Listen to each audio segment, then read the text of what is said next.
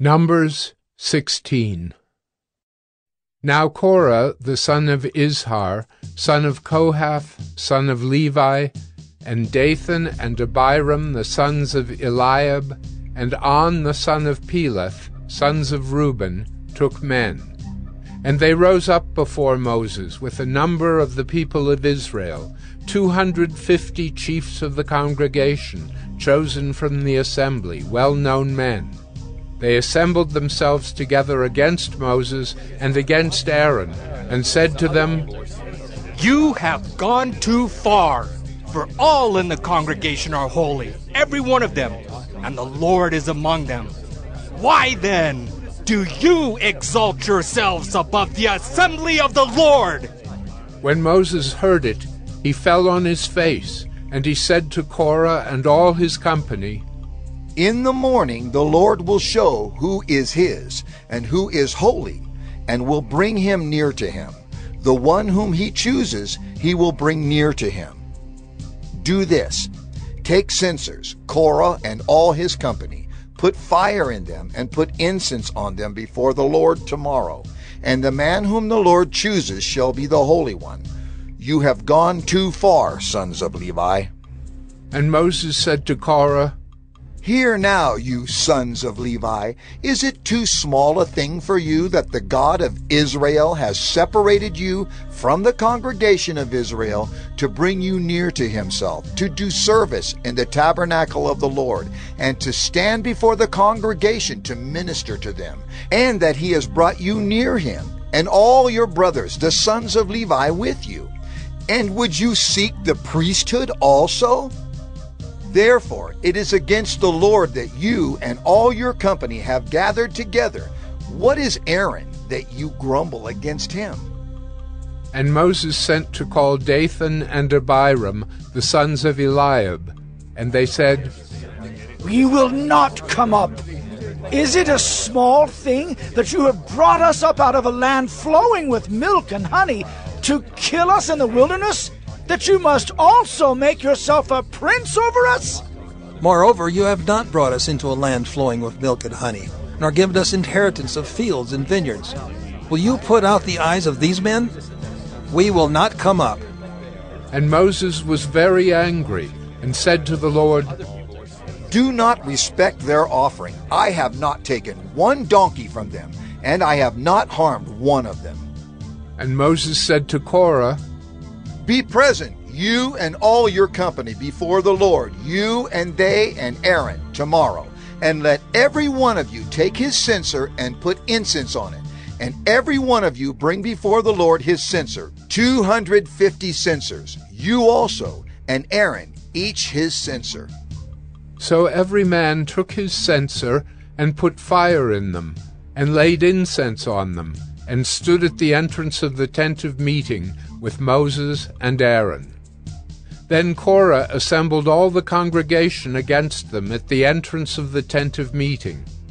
And the glory of the Lord appeared to all the congregation. And the Lord spoke to Moses and to Aaron, saying, Separate yourselves from among this congregation, that I may consume them in a moment.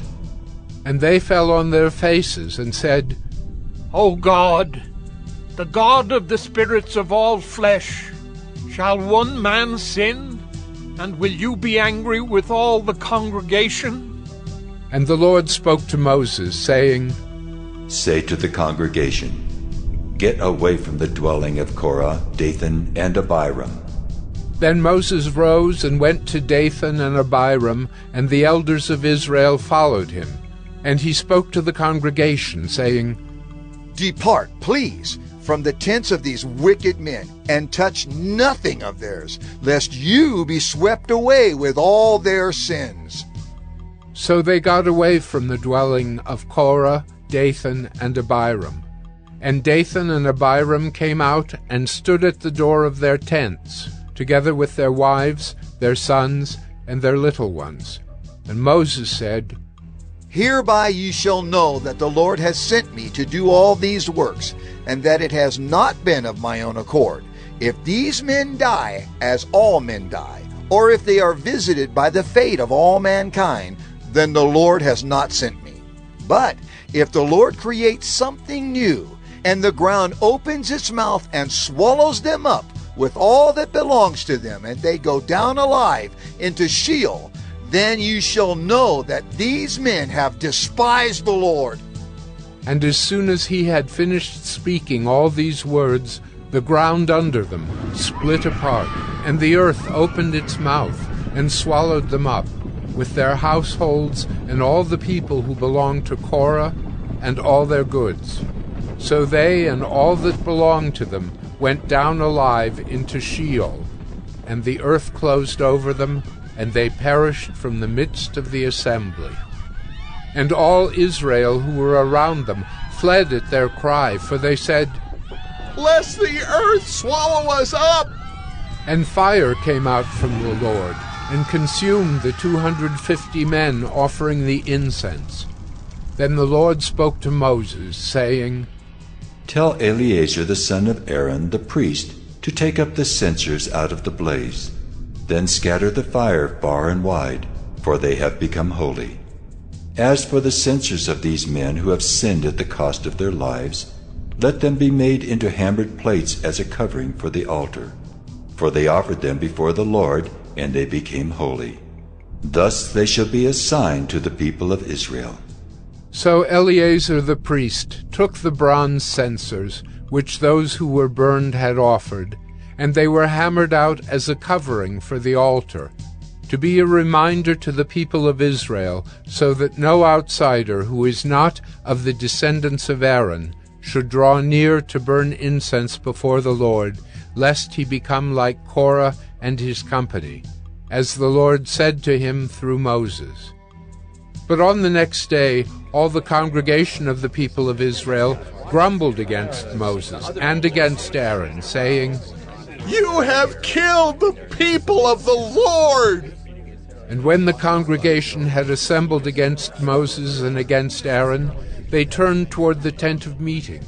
And behold, the cloud covered it, and the glory of the Lord appeared. And Moses and Aaron came to the front of the tent of meeting.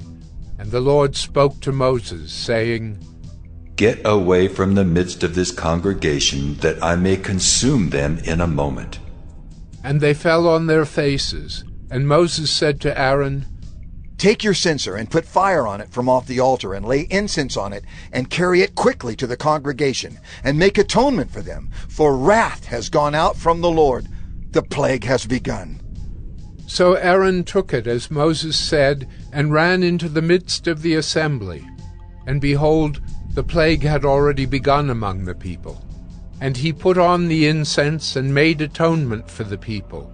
And he stood between the dead and the living, and the plague was stopped. Now those who died in the plague were fourteen thousand seven hundred, besides those who died in the affair of Korah.